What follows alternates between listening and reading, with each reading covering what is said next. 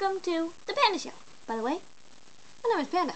Now, the guest star I am going to introduce to you is whoa that no I I want um I want someone that's normal please like Harmony again. She seems not okay Detective Ham.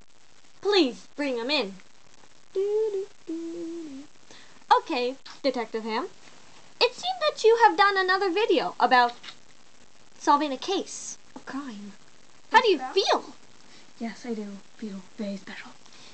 what was it all about was it very exciting to work with all the crew Well, it was only me and Spat and some other people, but it was very fun.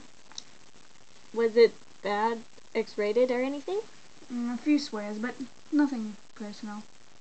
Okay, you're not moving. I want a new person, please.